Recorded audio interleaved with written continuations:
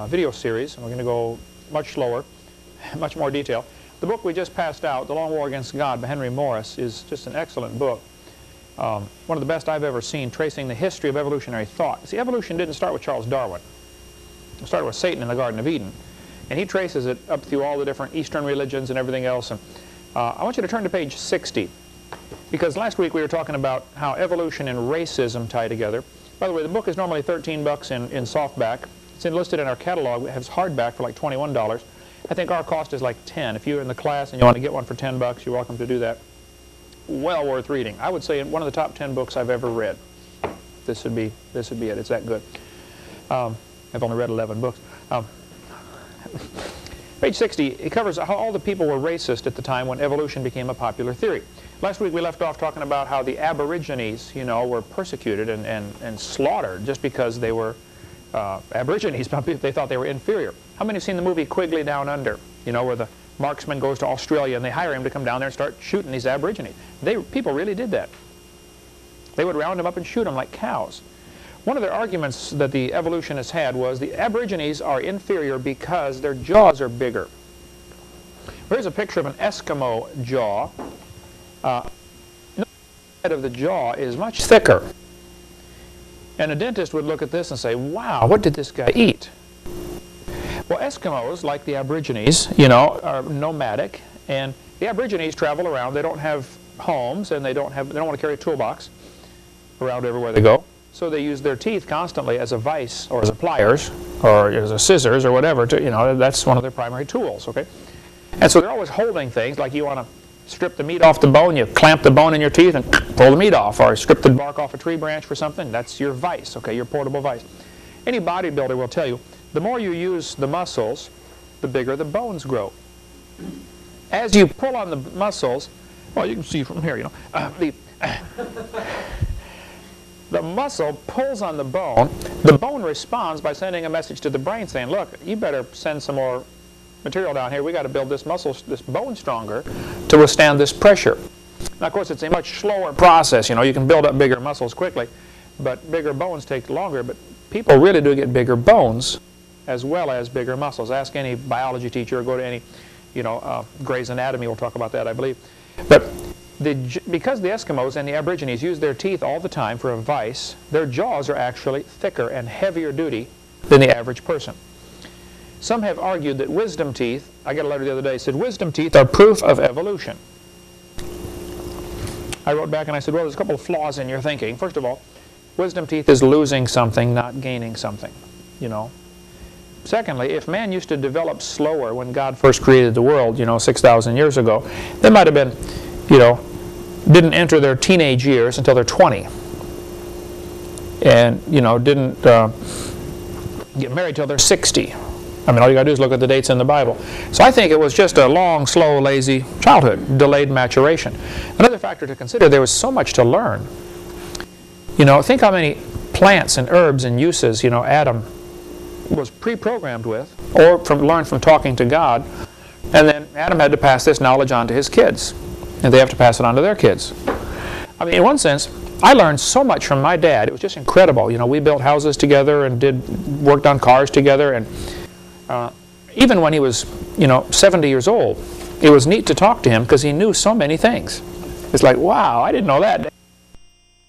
And, you know, here I am, you know, 35 and he's 70, and it's like, wow, Dad, that's that's neat. I didn't know you knew that. Um, well, Adam lived to be 900, plus came pre-programmed. So I just suspect before the flood came, I don't have a chart up here, but before the flood came, the people were developing much slower you were a kid for 20 or 30 years. No, not a care in the world. Enjoy life, a lot to learn, you know, but just basically have a wonderful time enjoying God's creation. So, if the people were before the flood were 8, 9, 10 feet tall, like we covered on uh, seminar part 2 of our series, that there's certainly some indication that they might have been, at least some were that big. Their jaws are bigger. Now you have room for that extra tooth. It's not a problem. The only reason it's a problem today is because we're probably genetic dwarfs compared to what we used to be. You know, the Chihuahuas and the, the pug and the little dogs that they've bred to be real tiny have all sorts of problems because the gene pool is still trying to make them grow something bigger that is not, there isn't room in their body now. Well, that's what the wisdom teeth are. they're, they're the opposite of evolution. They're proof of a much better original creation. So the Aborigines, though, were, were hunted, they were killed, they were enslaved, they were treated just like animals. Some missionaries tried to work with them and, and did an amazing job. I mean, many Aborigines were saved, got uh, civilized, whatever that word means, and uh, uh, made great Christians. There are Aborigines churches over there today in Australia. They are not an inferior species. They have a different lifestyle. You know, they prefer not having the, like the guys that live under the bridges, you know. Half the guys that live under bridges, that's what they want. They're homeless because they don't want to have bills to pay. They like the freedom from, from responsibility. And there have always been folks like that. You know, they'd rather go off in the woods hunting all their life, you know, and you know, be the mountain man, Daniel Boone kind of guy. Um, so I think, well, we'll get into more of that later about the Ice Age in Seminar Part 6, if we ever get that far. But look on page 61 at the top in Henry Morris's book. It was not only Darwin and Huxley, the two top evolutionists, who were racists. All of them were. This fact has been documented thoroughly in a key book by John Haller, appropriately called Outcasts from Evolution. One reviewer of this book said, This is an extremely important book, documenting, as it does, what has long been suspected and ingrained firm and almost universal racism of North American men of science during the 19th and into the 20th century. Uh, ad ab initio. Afro-Americans Afro were viewed by these intellectuals as being in certain ways unredeemable, unchangeable, irrevocably inferior. This is what they said. The quote we read last week, turn, go to the bottom of page 60, just before that. This is what Huxley said. We only read part of the quote last week. No rational man, cognizant of the facts, believes that the average Negro is the equal, still less the superior of the white man. And if this be true, it is simply incredible that when all his disabilities are removed, and our prognathous relative has a fair field and no favor as well as no oppressor, he will be able to compete successfully with his bigger-brained and smaller-jawed rival in a contest which is to be carried on by thoughts and not bites. In other words, if it involves biting or, you know, strength type contest, they might be better, but if it involves thinking, the white man is better. That's what he's saying right here. That was the attitude of the 1800s. Now, racism has existed all through history, of sure of course, but evolution is the only way you can justify racism because the Bible says very clearly we all descended from Adam and then later all from Noah's family. How on earth can one race be superior? Scripture certainly does not teach racism. Um, it does. It, God did tell the Jews only to marry other Jews, not to marry outside.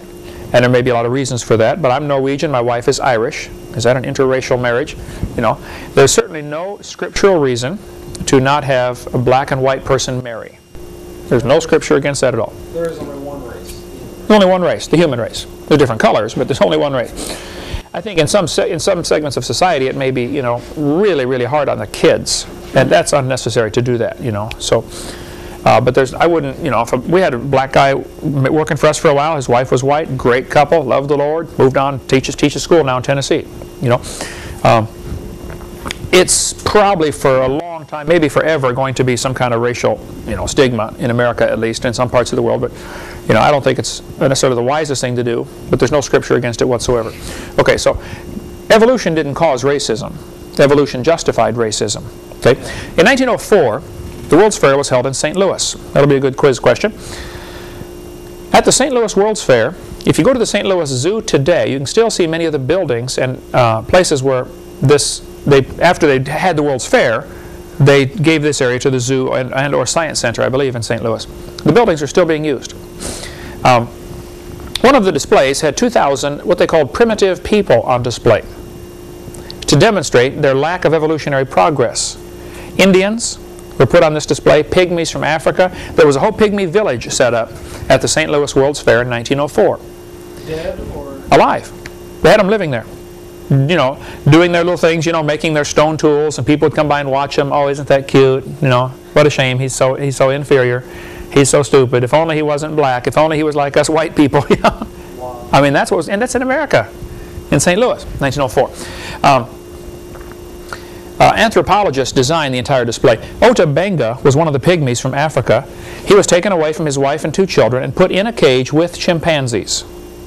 He lived with the chimpanzees, not all the time. He got out, you know, from time to time. But uh, he got converted. Somebody led him, led him to the Lord. Uh, but he just never could get over this stigma. Oh, you're the guy that was in the cage with the monkeys. Ha, ha, ha. He ended up killing himself, committed suicide. This attitude, though, even into the 1900s, even into the last century, was um, because of evolutionary thinking. Theodore Roosevelt, as good a man as he was, and he was a great godly man in many ways, okay, and a, certainly a great patriot in many ways, um, he was strongly influenced by the evolution theory. He believed the Inf Indians were an inferior species. Most people believed that back in those days. And if you look at some of the old westerns, you know, they often called the Indians savages. And they portrayed them as, you know, wicked, evil savages. Really, there are very few movies about the Indians that portray them as the good guys. It's almost always the bad guys. I can remember as a kid growing up, you know, we played cowboys and Indians. Uh, that's just, everybody did. I'm, you know, back in your era, if that way or not, but um, the movie Dances with Wolves is, you know, one of the few movies that portrays the Indians as the good guys and the white, white people as the bad guys.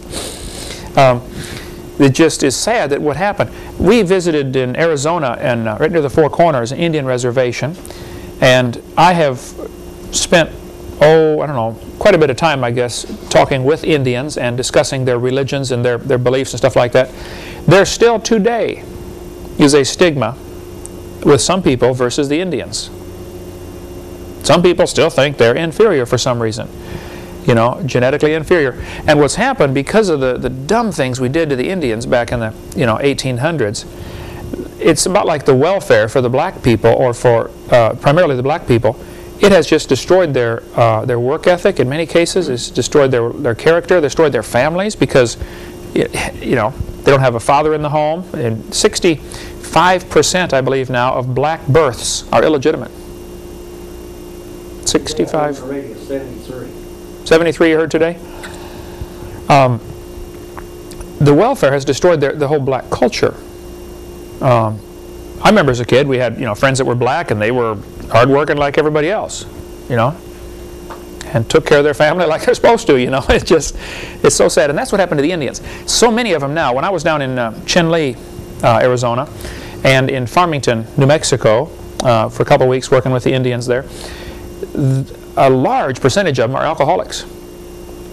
They get their monthly paycheck and go drink till they run out of money.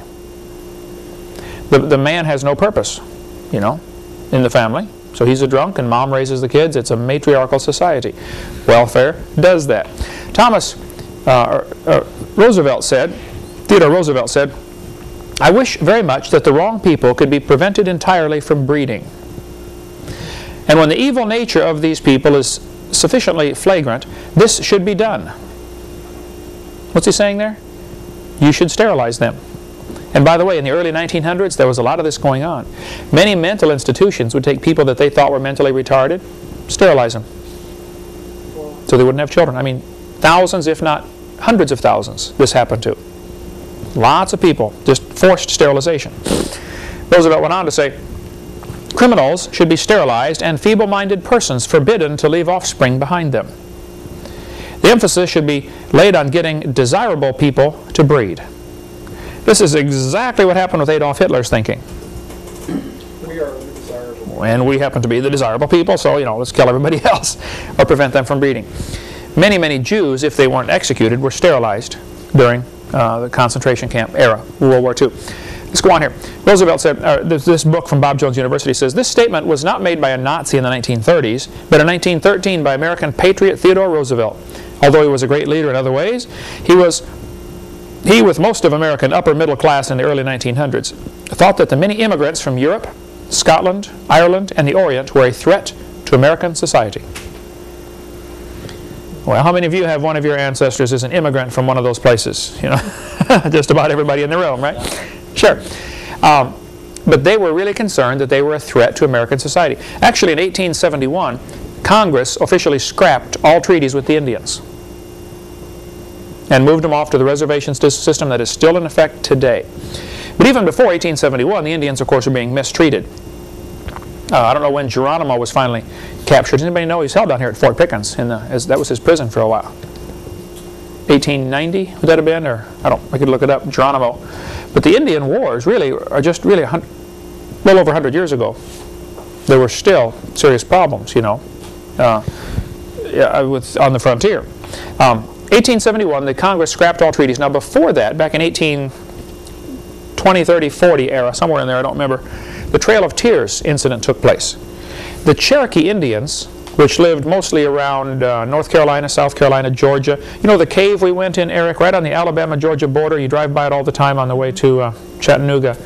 Cave, uh, Sequoia Cave. Sequoia Cave was the headquarters, or was one of the places where the Cherokee Indians met.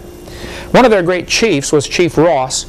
He taught all of his, his people how to read. They made up a Cherokee alphabet with, I think, like 80 characters and because each had 80 different sounds in the Cherokee language or something like that. He taught them all how to read in just a matter of a few months. Made, here they were, uh, people with an unwritten language, just a spoken language. He gave them an alphabet, gave them a written language, and taught them to read. They were filling in, fitting in just fine with the white society around them. You know, you might have an Indian neighbor next door, and nobody thought anything about it. But Sam Houston was married to a Cherokee Indian. I believe I have the facts straight. It's been a while since I read this, but uh, Congress voted to move the Cherokees out to Oklahoma to make room for the white man. One famous uh, town was called Ross's Landing, I believe the name of it was. All the Cherokees were moved out. On the forced march, it was interesting, they scheduled it so that the property would be taken over about two weeks before harvest time. So the Indians did all the work, planted the crops, you know, plowed the land, raised the crops, got them just ready to harvest, and they're forcefully moved out. I mean, soldiers came in with guns, loaded them on wagons, and moved them to Oklahoma. It's called the Trail of Tears. Went right through Cherokee Pass, Arkansas. You know, we stopped there at the gas station at Cherokee Pass all the time. Right through Imboden, Arkansas. The Trail of Tears went. One third of them died along the way. Sam Houston was just enraged with what Congress was doing. They renamed the city that was Ross's Landing, I think was the name of the city originally. Again, you can go back and look up and do research on this. But So people would forget about what happened to the Cherokees. They renamed the city Chattanooga, Tennessee. That's where you went to school. Um, it's quite a history there.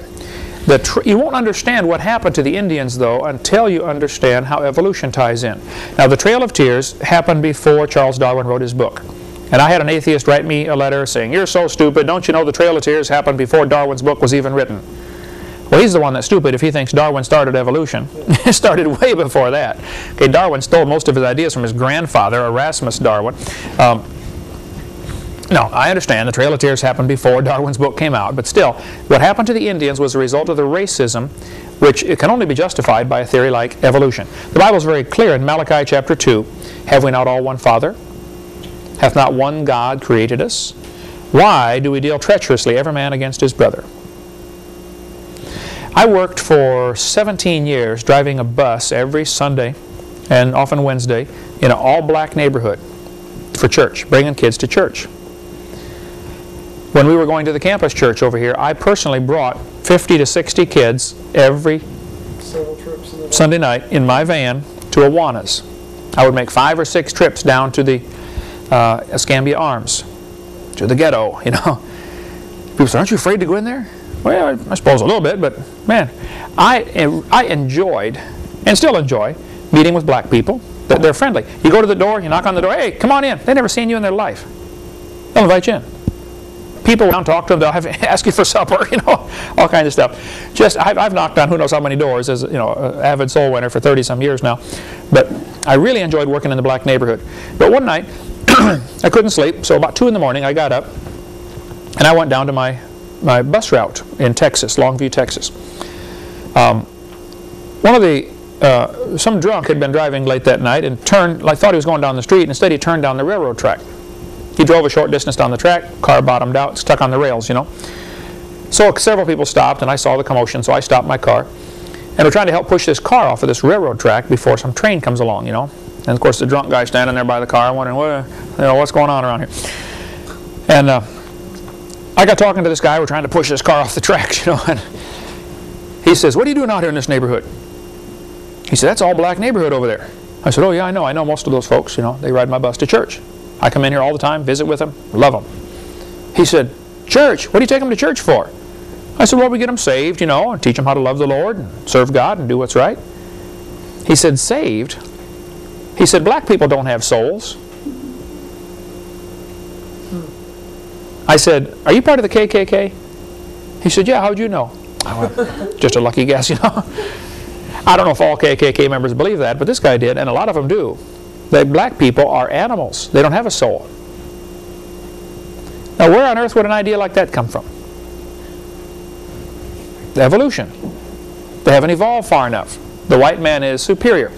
Bible says in uh, Acts chapter 17, and hath made of one blood all nations of men to dwell on the face of the earth. Now, there are definitely distinct characteristics of the different racial groups, if you want to call them racial groups, okay? No question, all right?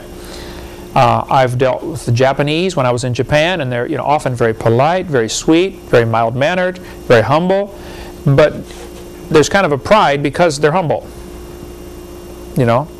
And they resist the American gospel in many, many ways. I was over there, and churches, will, pastors will work there for 20 years to get a church of 10 people. They just they don't want it. To look at American news, everybody's killing everybody. They don't have that problem in Japan. I mean, they're 10 times more crowded than we are. You know, and their crime rate is way down. They don't want what we got. You want us to accept American gospel? No thanks. You know, we don't want what you've got. So different racial groups, no question, have certain characteristics about them. You know, the Indians with the high cheekbones, the Norwegians with the blonde hair, et cetera, et cetera. But we're all descended from Adam and then later from Noah's family. So there's no reason to be a racist. Darwin said, a married man is a poor slave worse than a Negro. I won't ask how many of you agree with that statement, but the fact is, if a, if a professor said that today, how long would he keep his job? Or his life? Yeah, not long. Yeah, not long, right? And yet Darwin is touted in schools as one of the great, you know, heroes, one of the great scientists of the world. He was a racist. He was a woman hater. He finally married his first cousin. Nobody else would take him, apparently. Darwin wanted to raise a race of, of purebreds. You know, great, you know, he saw, thought if you marry close to the family line, he thought, you know, since I'm so great, I'll marry somebody closely related to me. And we'll produce, you know, super kids. Well, it didn't work. Okay, you get a bunch of rednecks when you do that these days. Um, Darwin. yeah, we'll get to that in a minute. Darwin said, the chief distinction in the intellectual powers of the two sexes is shown by man's attaining to a higher eminence in whatever he takes up than can woman. Whether requiring deep thought, reason, or imagination, or merely the use of the senses and hands, the average of mental power in man must be above that of women. See, after Darwin wrote his book, uh, Origin of Species, he later wrote another book called The Descent of Man. Next he wrote several books, okay? Progressively more atheistic. In his first edition of uh, Origin of the Species, the, you can tell which edition you're reading by looking at the last sentence in the book. First edition says, it ends with the words, you know, by, I forget the whole paragraph now, but uh, you can tell by this progression of animals or something that these, these things were created. Then in the second or third edition, they changed it to evolved. And there were six editions, I believe, altogether. And the first one, or at least the first one, maybe the first two, have the word created in there. Then they took that out. Became evolved. But in his book, Descent of Man, Darwin also said on page 588, Thus man has ultimately become superior to woman, poetry, strength, voice, etc. Darwin believed in inbreeding. He married his maternal father's granddaughter, who was also his mother's niece, which makes her his first cousin okay, which is illegal in all but three states here in America. The best man in my wedding, good friend of mine through school, went to a church that believed a few things a little strange, and uh, they had to marry somebody of their own faith. Well, there aren't many of that particular, you know, kind of real narrow faith, so he married his first cousin. He had to go to North Carolina to do it, I believe. Only a few states allow first cousin marriages almost all states, it has to be at least second cousin or further distant, just so you don't have genetic problems. Here's what happens. The uh, chromosomes in your body is like a ladder from here to Chicago. You know, it's twisted up. Okay? Each rung of the ladder is called a gene. And there are millions and millions and millions of them. Man currently has about at least 3,500 defective genes. Kind of like in your computer, you may have a, a program that's you got a bad file. Well, the computer can work anyway, okay? You might have a few broken wrenches in your toolbox, but you can still, you know, work with stuff. And there are about 3,500 defective genes in the average human gene pool. If you marry close, close to your bloodline, the probability of the same genes being defective are very high. So you are more likely to produce deformed children. That's just though it's a Russian roulette with three bullets in the chamber, you know. Not a good way to do it. Um, Darwin married his first cousin, okay? He wanted to produce a superior stock. This is from the book In the Minds of Men by Ian Taylor, which is also just an awesome book. I mean, it's huge, but we sell it through our ministry, and it's just a tremendous book. Uh, they had 10 children. Mary died shortly after birth. Anne died at age 10. Robert was born retarded and died at 19 months. Henrietta had a serious breakdown at age 15. Three of his other six sons were ill so often, Charles regarded them as semi-invalids. That is your race of thoroughbreds. As your race of thoroughbreds, all right. Okay? Ask anybody that raises cats or dogs or anything. If you allow them to breed back very, very close to the family line, you start to get some real strange things happening. You know, a lot of the hybrid dogs, Chihuahuas, for instance, you know, they're schizo. Run around, yip, yip, yip, yip, yip, yip, all day long. The only cure is duct tape or a ball bat, you know. Shut up, dog, okay? Uh, I don't recommend that. I've never, done that to a dog. Some skeptic's going to get this tape and say, oh, Hovind believes in beating dogs. no, I don't. Uh,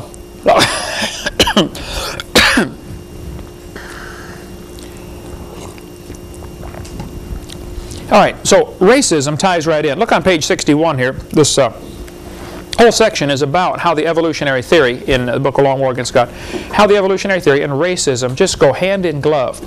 Now, evolution didn't cause racism, and racism didn't cause evolution, but they certainly support each other. Okay? Um, all through here you see quotes by major evolutionists um, about how racism and how all the major evolutionists of the 1900s were racist, which was acceptable. I mean, we still had white bathrooms and black bathrooms here in the South just 40 years ago. Right? You'd see signs, colored only. Pekin, Illinois, right near where I grew up, we've been through Pekin a thousand times, you know, used to have signs on the edge of the city Black man, don't let the sun set on you here. That's in my lifetime. The town we were in uh, yesterday, Eric, you know, Yeah, they don't, they don't allow blacks. still, Still, today, 2001, you know. There was one black kid at church last night, wasn't there? Surprised. Yeah, the only black one in the whole town. And, uh, Well, they lived, they lived about 45 miles away. oh, lived along, they had to bus them in. yeah. In Florida had that sign. Jay Florida had a sign like that? They did, up just not long ago. Till not long ago. Wow. Well, yeah, the KKK is still real strong, you know, in some areas. Um, that type of mentality, though, that because of a person's skin, he's inferior. Well, that's just flat stupid, okay? Uh, there's no scientific evidence to back that up. And that's just, that drives prejudice, you know, into people. Uh, and that just is sad that so many kids are raised with thinking that, you know. Dad teaches them that, and so they're going to believe it. Um, okay. Now you can read through this if you'd like. Look at the quote in middle of page 62, though. The Negroid stock is even more ancient than the Caucasian and Mongolian, as may be proved by an examination not only of the brain and of the hair, of the bodily characteristics such as teeth, genitalia, the sense organs, but the instincts, the intelligence. The standard of intelligence of the average adult Negro is similar to that of the 11-year-old youth of the species Homo sapien. This is Henry Fairfield Osborn, that was on the quiz from last week, the curator at the American Museum of Natural History. He was the guy who was going to introduce, uh, this was one of the things they were going to introduce as evidence in the 1925 Scopes monkey trial. He was guy going to bring in uh, Piltdown Man as evidence for evolution at the Scopes monkey trial. This is Henry Fairfield Osborn, who was a big brand name evolutionist of his day. Now, evolutionists today have worked very hard to distance themselves from this kind of teaching. They will usually say, yes, they taught that 100 years ago, but we don't believe that anymore. And that's, uh, hopefully that's correct, okay? But the fact is, this is, this, this is just history. This is the way it was, okay? Racism and evolution go hand in glove. Okay, let's uh, talk a little bit about how evolution is the foundation for communism. Switch gears here, all right? Before we do that, though, racism, of course, is a great way to get some people to kill other people. Great way. And that's one of Satan's goals. Lower the population to zero. Kill everybody. Now, God doesn't allow Satan himself to do it, so Satan has to get some of his assistants to do the dirty work for him. And so one of Satan's goals is get people to kill other people, and that's racism is a great way to do it, and evolution ties right into that. Okay, let's see how communism uh, goes, to, goes, goes in with uh, evolution. Humanist Manifesto was written in 1933. Good quiz question. That's the first Humanist Manifesto. They wrote a second one in 1973. Basically says a lot of the same stuff. Okay. Humanists here are declaring that they are a religion. Over and over in the Humanist Manifesto, which you can still buy from Prometheus House, I believe is the name of the publisher, wherever that's at. I forget, I've got Humanist Manifesto in my library. But uh, um, they start off by saying, you know, uh, this is religious humanists. All through this document, they call themselves religious humanists. The courts have declared humanism is a religion. Humanism, basically, there's only two choices, okay? Two kinds of religions in the world, if you can call it that. There are those that say there's a God, and he tells us what's right and wrong. Now, who that God is, is it Allah or Buddha or Jehovah? You know, all, all kinds of them. Okay. Uh, we believe we've got the right one. Of course, they believe they've got the right one.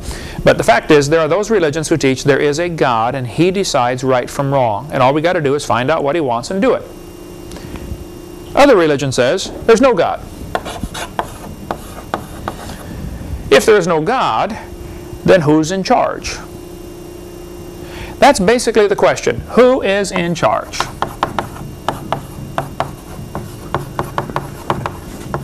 Now we will see later how important this question is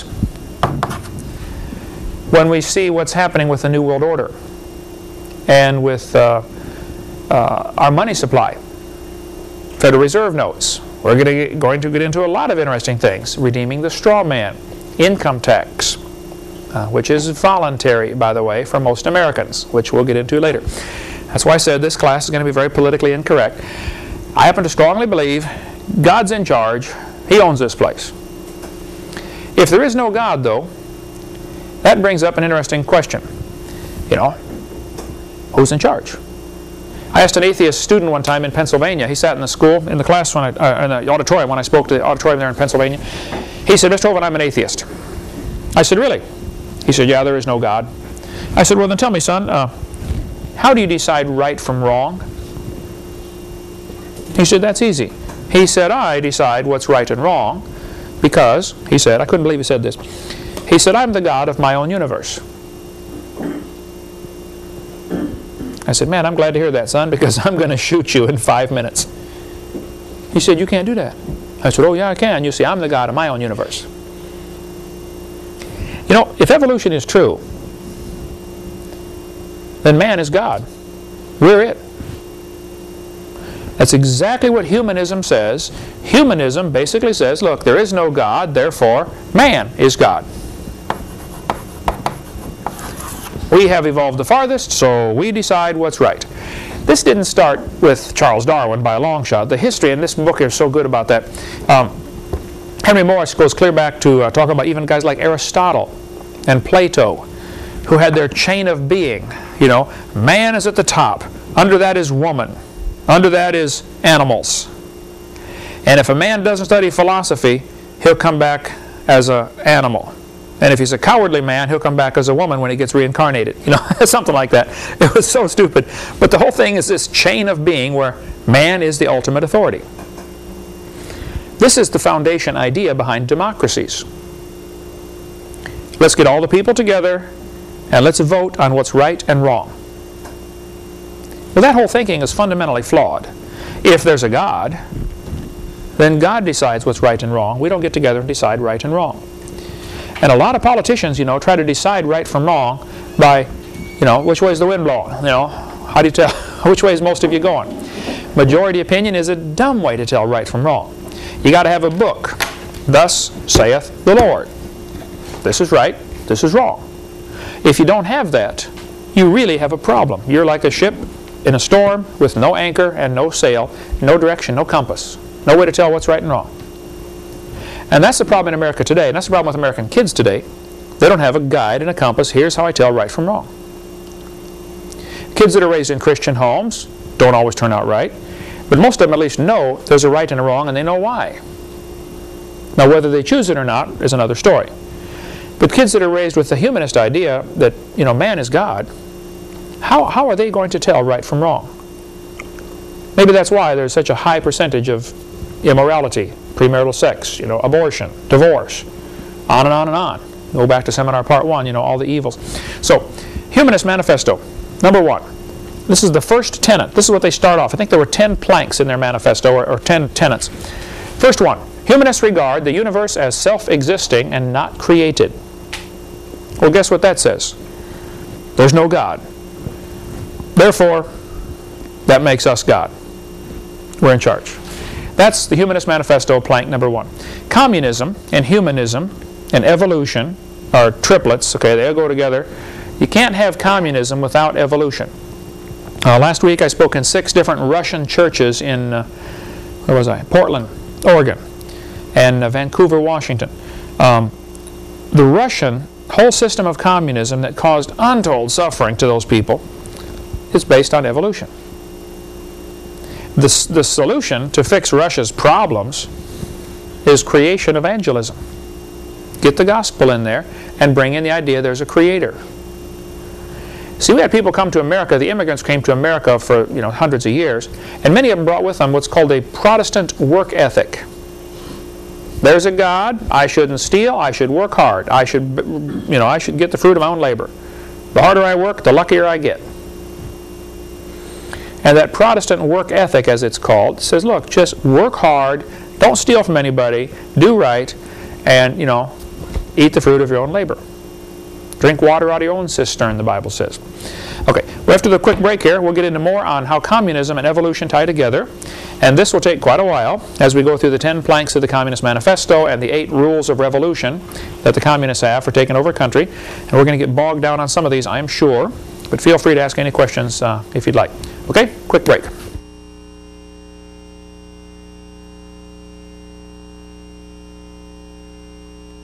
All right, let's explain a little bit how communism, humanism, uh, Marxism, named after Karl Marx, and evolutionism tie together. By the way, I do a lot of debates, and they always say it's creationism versus evolution.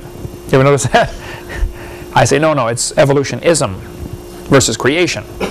I always put the ism on evolution on purpose. Um, this fellow said, do humanists believe in a supreme being? Emphatically, yes. That supreme being is man. Humanists have no knowledge of any being more supreme.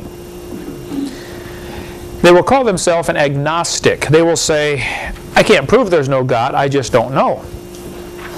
Agnostic is from the Greek word where we get our word ignoramus. I don't know. How, how appropriate. How appropriate, yes, agnostic, ignoramus, okay? I don't know. And guys like Huxley would not claim to be atheists, and a lot of you know, professors today would not really claim to be atheists, they would claim to be agnostics, which means they just don't know. So make that a quiz question. What does agnostic mean? Don't know, or ignoramus. Either one would be sufficient there. Um, in the American Humanist magazine, this fellow said, the turning point in history will be the moment man becomes aware that the only God of man is man himself. Now watch this philosophy carefully because this is exactly what is spreading around our United Nations. That man is God.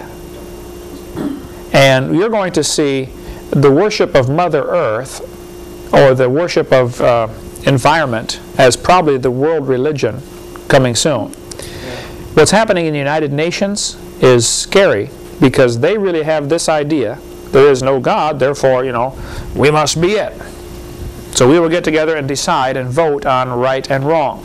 Um, the communist, uh, ACLU, I jokingly call it the American Communist Lawyers Union, started by a guy named Roger Baldwin, who said very clearly the goal of this organization is to further communism.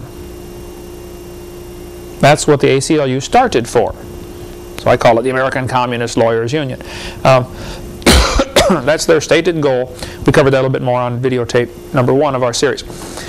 Karl Marx, originally named Moses Mordecai Marx Levy. You're not have quiz. No. But when he was 17 years old, he wrote a beautiful paper telling how much he loved the Lord. In order to graduate from high school, you had to give your testimony. Or something to that effect. And so he wrote, great paper. Then Karl Marx went off to college. And in college, his philosophy was destroyed by a professor who turned him in, uh, on to the pre-evolutionary ideas. You know, this was just before Charles Darwin wrote his book, but evolution was rampant before that. You know, Darwin just gave a mechanism for how it can work.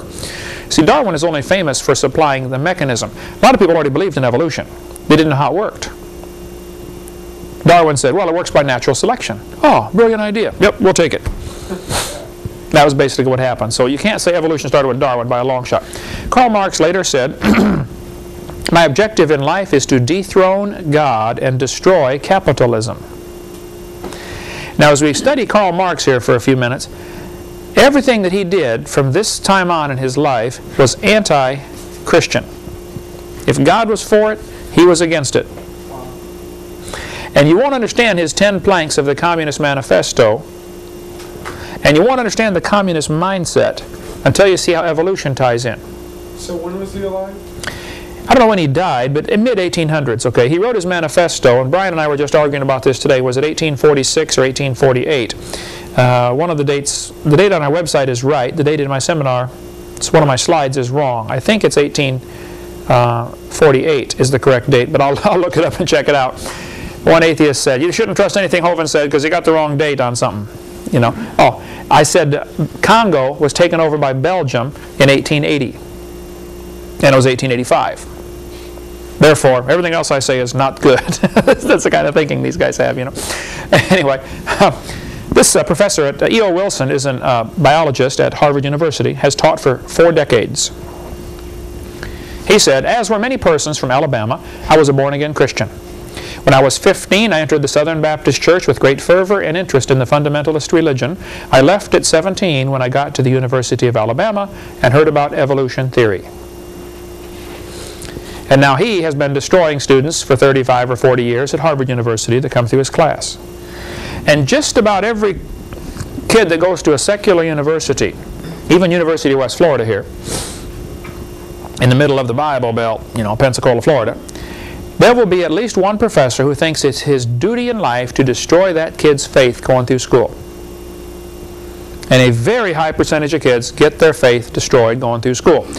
Professor Wentworth, Wentworth, he said, when I entered Harvard in the fall of 1924, I was not only a Christian, I was also an avowed candidate for the ministry. Then for four years I underwent a process of mental readjustment which shook my little world to its foundations. Through it all, only one thing was clear to me. If I could reconcile religion with intelligence, I knew that I could go on into my chosen career, fortified by the experience. If I could not, every consideration of honor would compel me to make other plans. In the end, I gave up the ministry. College education turned him away from serving God. I got a letter just last week, two weeks ago. Uh, this fellow said, Dr. Hovind, until I went to college, my faith in God was sound, but my college history class helped to destroy that faith. I started to doubt the Bible and God's Word. I even started to doubt Jesus was truly God's Son and that He died and rose for my sins. My best friend showed me your tapes, and I was in awe of what I saw. Everything I thought I knew about life was changed. Praise God.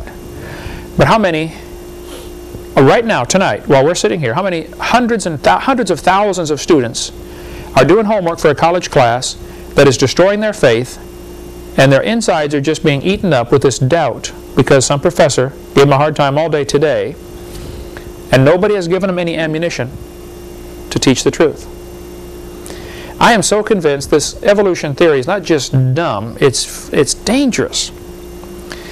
What happens, Satan is using this theory, to, of course, to keep people from hearing the gospel. Many people refuse to even listen. When I tried to witness to my brother's best friend, Mike, who lived just next street over from us when I was growing up, I tried to witness to Mike, and he was uh, going to college in, in Peoria, Illinois there, and he started teaching, telling me all about evolution. He said, I'm sorry, I, you know, I don't need your gospel, I don't need your Jesus, because, you know, I'm going to college, you know. Evolution is how we got here. And I just, I couldn't get anywhere with him. I was a brand new Christian myself, you know, sophomore in high school, he's a sophomore in college, and I, I didn't know how to witness to him.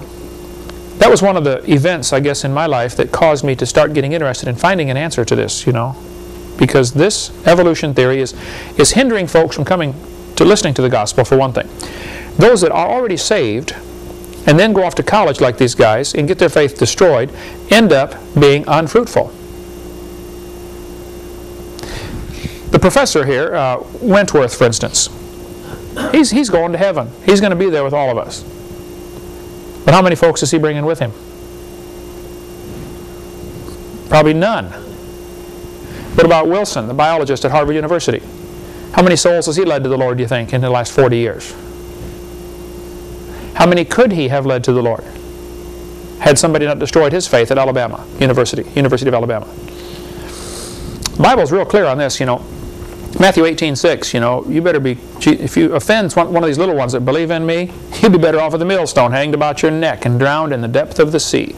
This is a serious offense. Um, interesting quote here. Uh, Christianity has fought and still fights and will fight science to the desperate end over evolution. Because evolution destroys utterly and finally the very reason Jesus' earthly life was supposedly made necessary. Destroy Adam and Eve and the original sin, and in the rubble you will find the sorry remains of the Son of God. Take away the meaning his, of his death. If Jesus is not the Redeemer who died for our sins, and this is what evolution means, then Christianity is nothing. The American Atheist Magazine, 1978. And they're right. If evolution is true, Christianity is nothing. Jesus died on the cross for no reason. He's just another martyr for a cause. This battle, now I want you to notice what this guy said. Now he's writing this in the American Atheist magazine, okay? Look back at the first sentence here. Christianity has fought, still fights, and will fight science to the desperate end. No, no, no. We don't fight science. We fight evolution because we feel it's not part of science.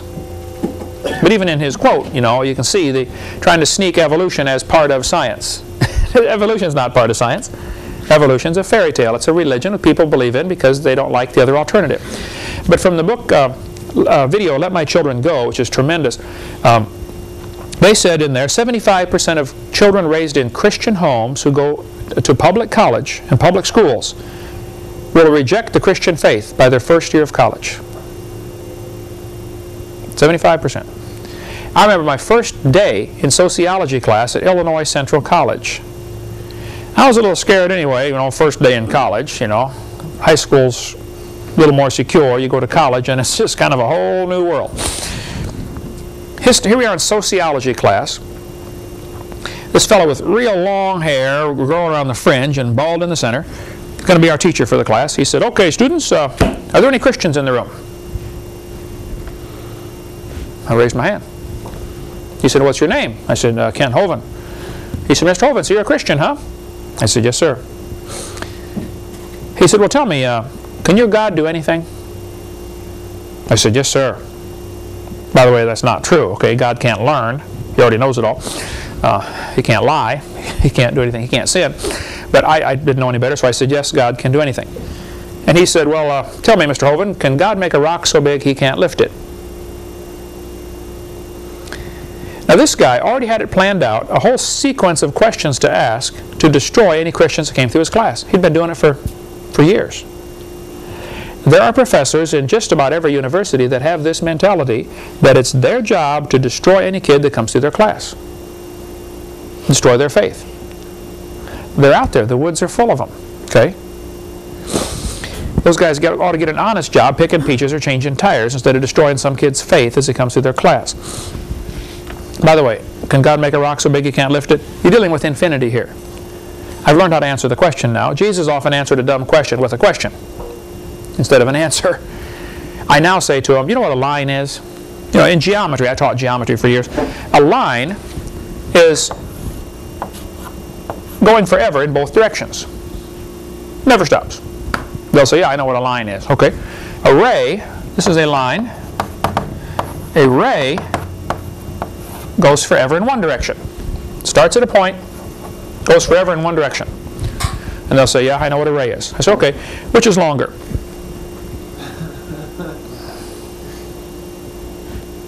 Well, they're both infinite, okay? Neither one's longer than the other.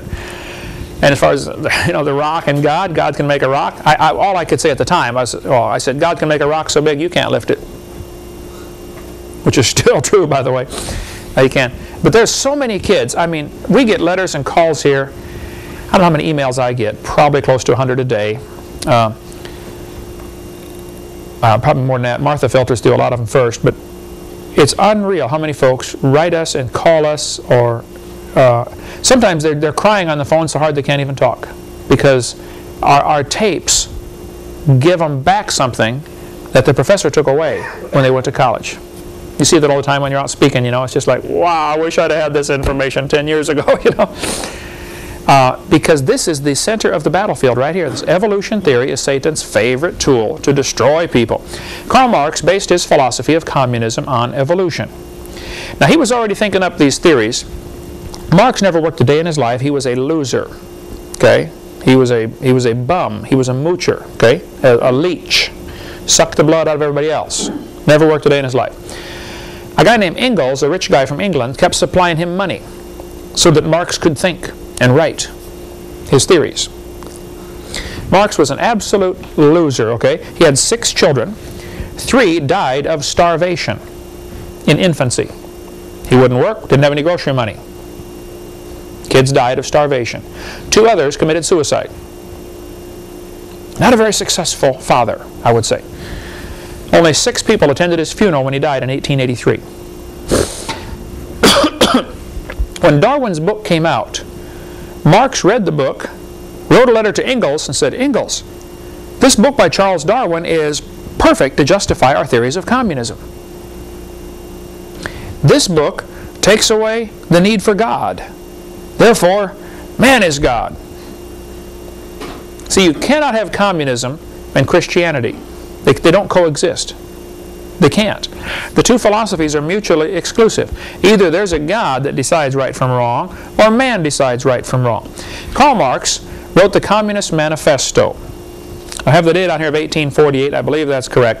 The one on the website is the correct one. I'll, I'll, I'll fix this if this is not right.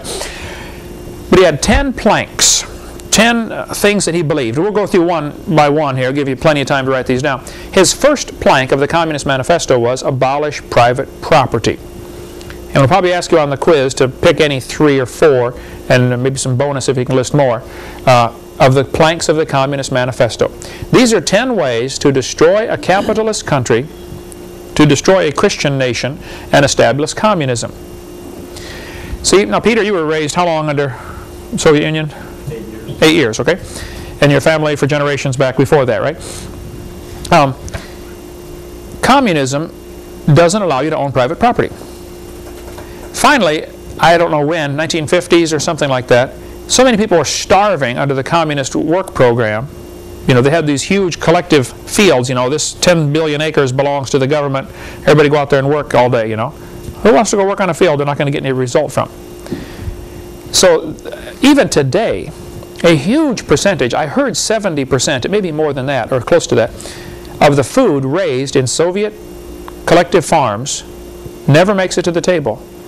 It's either not harvested, oops, we forgot to harvest it, so it rots, or it's harvested and stored in huge piles and the rats eat a bunch of it, or the birds, they just store it in big piles, because it's not privately owned.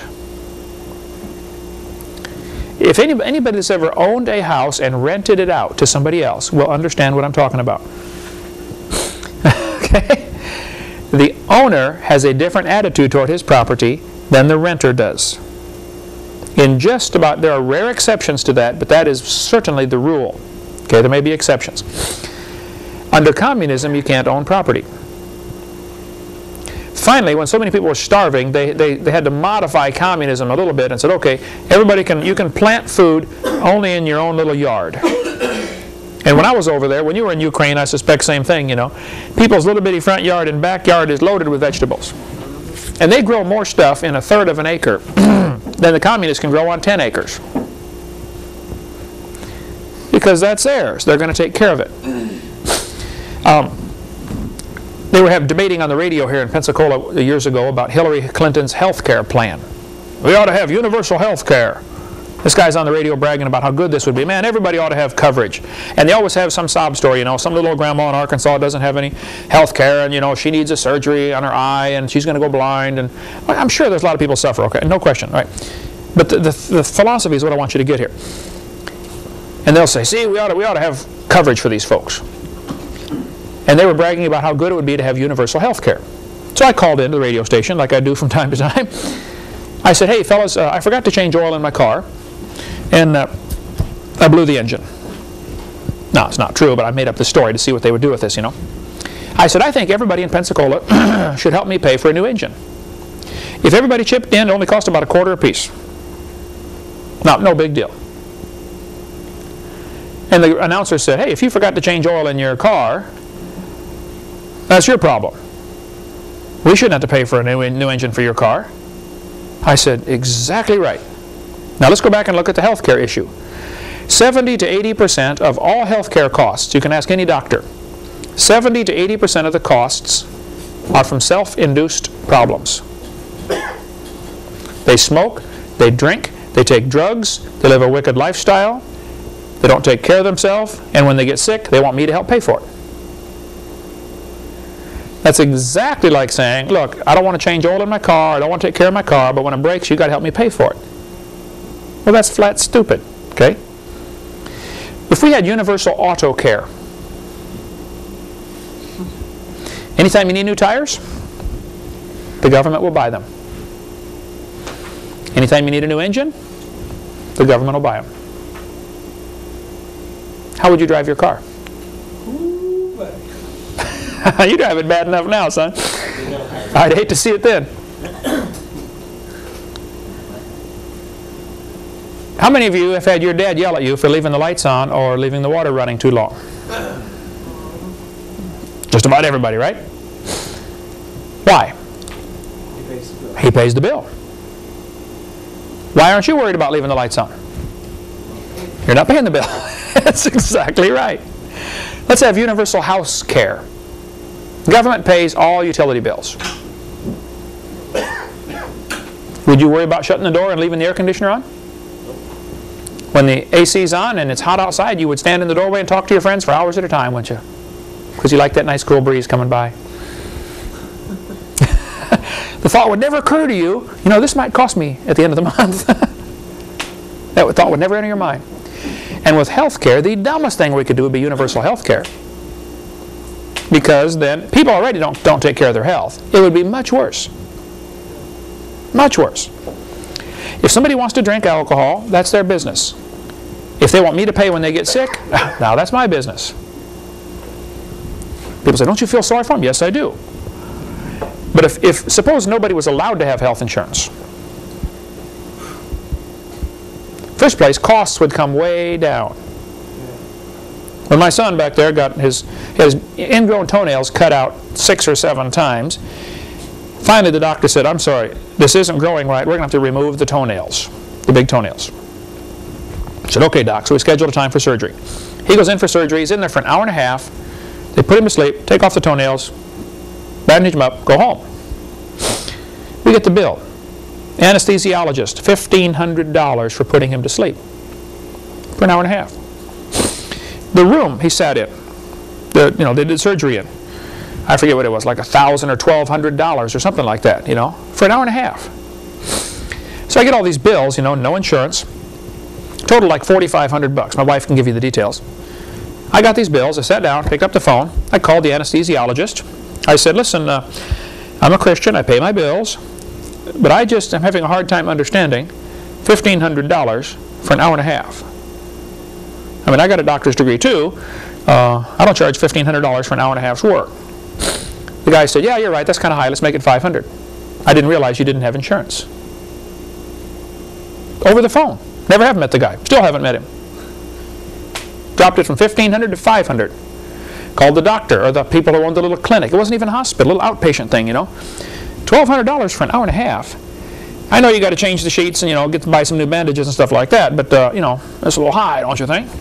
He said, yeah, you're right, let's make it 400. We didn't realize you didn't have insurance. If nobody had insurance, medical costs would drop dramatically. I'm not saying insurance is good or bad, okay? I'm just saying the fact is when people have it, costs go up and people take less care of their health. That's what communism does. First plank is abolish private property. The Bible is very clear. Leviticus chapter 25 verse 10. And you shall hallow the fiftieth year and proclaim liberty throughout all the land unto all the inhabitants thereof. It shall be a jubilee unto you, and ye shall return every man unto his possession.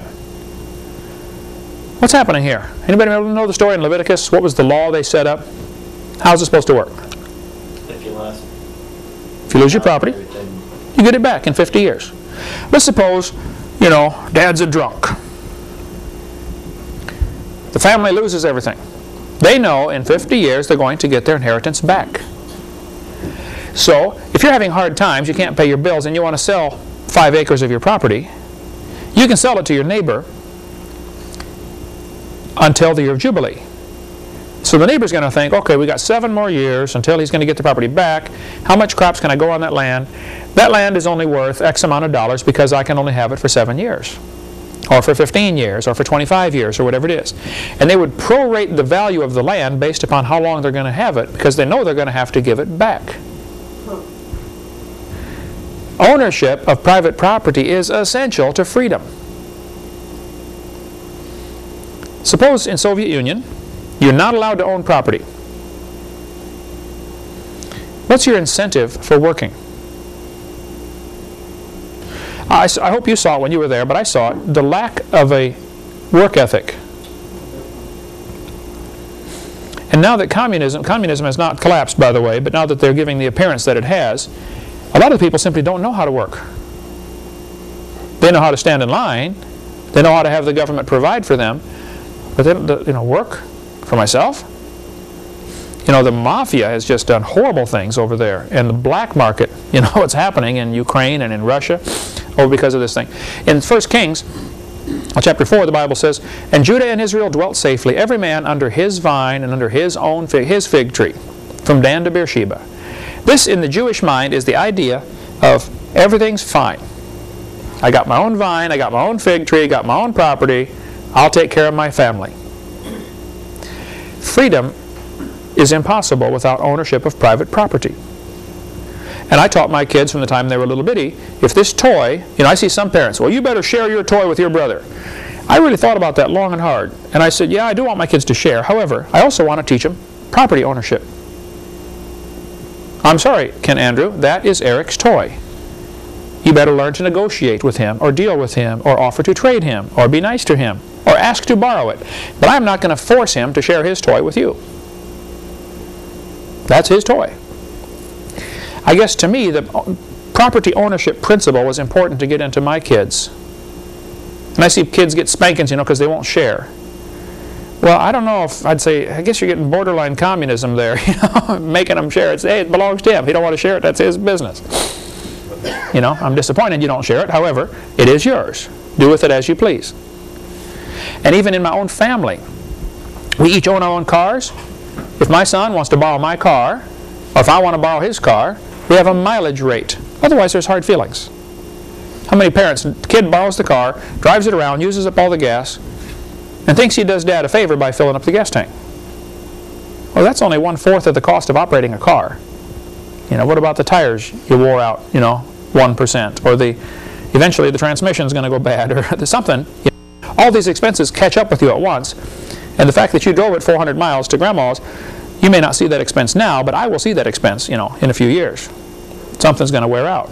Certainly you're going to depreciate the value of the car. Buy a $20,000 car, drive it 200,000 miles. How much is a car with 200,000 miles worth? Zero, right? You put them in the junkyard. Yeah. So just depreciation, you went from $20,000 to nothing. That's what, 10 cents a mile? It's just appreciation. It costs 10 cents a mile just depreciation. When you look at a car and you're going to buy a car, it says 1996 Ford Mustang, 50,000 miles. Wow. 1996 Ford Mustang, 150,000 miles. What does that do in your thinking to the value of this car?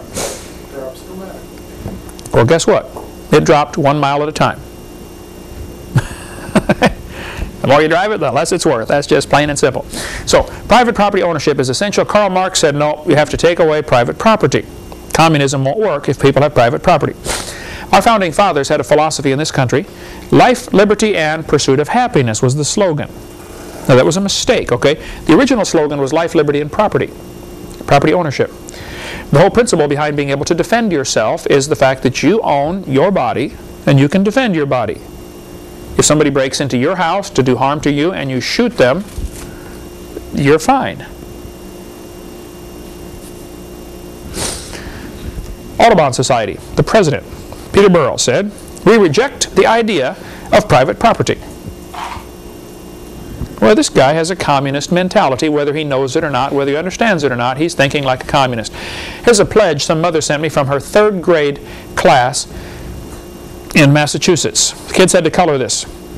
I pledge allegiance to the earth, which I do love and depend on, and to all life on land, air, and sea, which is as much a part of the earth as me. We're teaching kids that the earth belongs to everybody. It's not fair for you to own your own property. And the whole idea behind the slow encroachment of government requiring permits for all sorts of things, you know. Man, our founding fathers 200 years ago would have started a war. You mean I got to get a permit? I got to get your permission to build my house? Forget you. this is my property. That was so strongly ingrained in them, and that now is being is being weeded out. You're seeing at building your house how many permits you have to get. And we're seeing here in our ministry, which is under a church, not a 501c3 corporation, a church, and we did not get permits when we built our buildings. And they give us a hard time. They don't understand. Well, we're going to help them understand. You simply have no authority over a real church. And 99% of the churches in America think that they're real New Testament churches, and they're not. They, they've asked the government for permission to exist. They become a 501c3 corporation. That's not a church. You're a branch. You're a, it's like in Soviet Union. There are two kinds of churches: the free church and the state church. Most churches in America are state churches and don't even know it. We'll get into more of that later. All right. Next week we'll talk more about communism and the philosophy and how it's so dependent on the theory of evolution. And it'll take us quite a while to get through communism. Maybe the next uh, 20 classes. I don't know. But we're going to see some things that are very politically incorrect, including why none of you have any money. We'll get into that later on. Thank you so much. See you next week.